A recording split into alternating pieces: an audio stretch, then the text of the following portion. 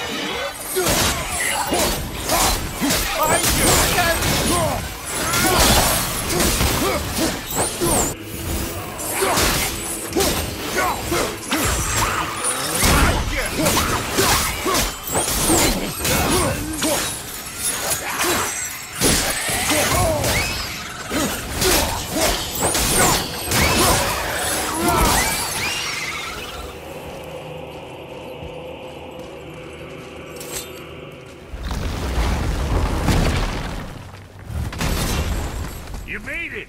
Better get home to your boy already.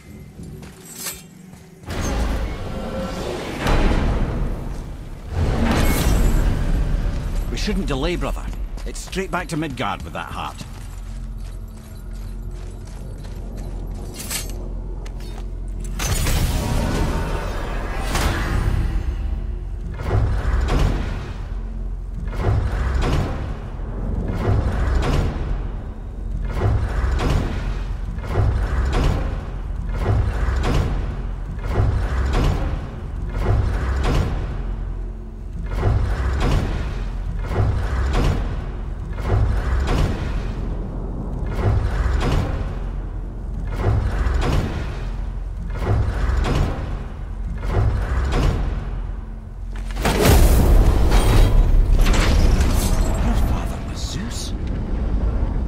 Finally understand.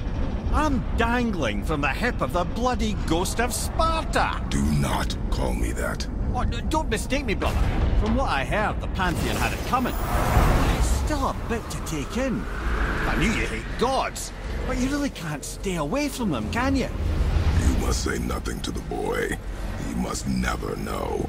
Bollocks, brother. Respectfully, bollocks. He has to know. He'll never be whole without the truth. Look, I get it. You hate the gods. All gods. It's no accident that includes yourself. And it includes your boy. You see that? He feels that. He can't help what he is. He can't begin to help it because you haven't even told him. It's all connected, man. You will tell him nothing. Very well.